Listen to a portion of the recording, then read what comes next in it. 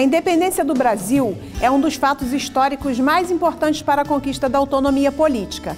Nós, mageenses, também conseguimos total liberdade para a nossa população. Igualdade para todos. É